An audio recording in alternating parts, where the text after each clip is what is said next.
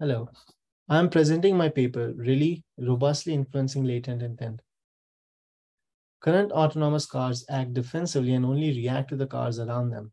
But for a more natural and efficient interaction, it is important for the autonomous car to influence the other cars around it, just like a human would. For example, consider the video shown here.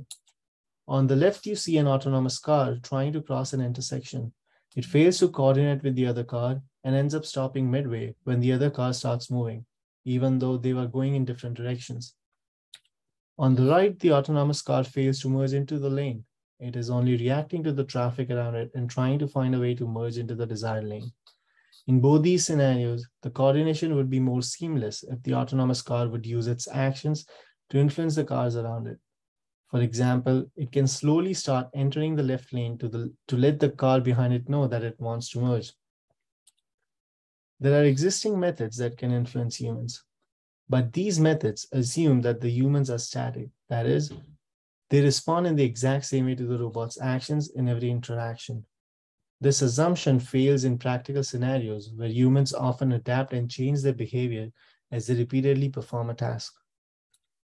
On the contrary, our method does not assume stationarity in human partners. We learn a robust policy that can influence changing human partners. Moreover, we can use the trained policy to quickly adapt to new humans that the robot has not seen before. Consider an example environment shown here. The robot is trying to reach its partner that moves on the circle. How the partner moves depends on what the robot does, and different partners can react differently to the robot. For example, the human on the left moves clockwise when the robot goes outside the circle and counterclockwise otherwise. Contrast that with the rightmost partner, which moves clockwise regardless of what the robot does. Our method enables the robot to influence all three different partners and quickly adapt to a new partner besides the three shown here. In each interaction, we refer to the human's behavior as their latent strategy, which is denoted by Z. This latent strategy changes in response to the robot's actions according to a set of rules, which we call the human's latent dynamics F. Tau is the interaction data, which is a tuple of robots' states, actions, and rewards. In the previous example, the position of the partner on the circle is the latent strategy. How the partner moves is the latent dynamics. Our method consists of two parts. The first part is training with a pool of partners. Here we assume that the robot has access to a certain number of human partners or latent dynamics that it can train with. In order to influence its partners, the robot needs to first infer how their behavior changes in response to what the robot does. That is the latent dynamics. We use an autoencoder to approximate the dynamics of the partner and predict what it will do in the next interaction. The encoder takes as input the history of last k interactions from tau i minus k through tau i minus 1. Even though the partner only reacts to the robot's actions in the last interaction, different partners can react differently. Therefore, we need a history of interactions to accurately predict the current partner's latent strategy. Next, we train a policy that is conditioned on the predicted latent strategy Using this policy, the robot chooses actions that exploit the partner's latent dynamics and influences them towards strategies that benefit the robot. But what happens when the robot encounters a new partner that it did not see during the training?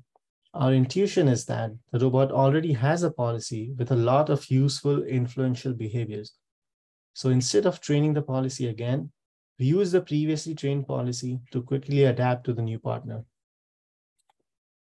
To do this, we train an autoencoder that predicts the latent strategy for this partner. Then we sample a dataset of trajectories, xi i, from the frozen policies trajectory space. These trajectories combined with the predicted latent strategy is passed through the trained decoder to predict the corresponding reward. This gives us a pool of trajectories along with their predicted reward labels. From this pool, we choose a trajectory with the maximum reward for the next interaction. To validate our approach, we conduct a between participant user study where we test our approach, RILI transfer with the baseline method, SILI. In the user study, a human robot team builds a Lego tower. The robot wants a specific tower which is unknown to the user. The tower that the users build in, in an interaction is their latent strategy.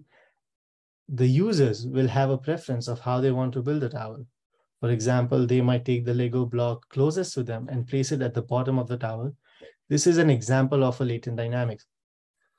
So the robot can pass the blocks to the user in a specific order such that they build the desired tower, like putting the bottommost block closest to the user.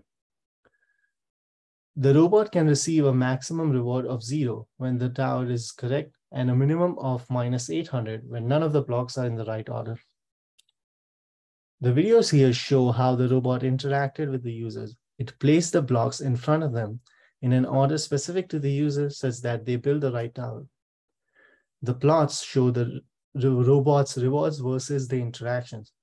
The left plot belongs to the baseline method SILI, and the one on the right belongs to our method, RILI transfer. It is seen in the videos that the baseline method fails to figure out the right order for passing the blocks to the user and places them all at the same distance. Our method, on the other hand, quickly figures out how to pass the, pass the blocks to the user in the correct order. We see that with our method, the robot was able to successfully influence the users to build the correct tower after less than 30 interactions, as the rewards quickly go close to zero. On the other hand, the baseline method received rewards between minus 400 and minus 600, indicating that the users did not build the right tower. Ergo, the baseline was not successful in influencing the users at all.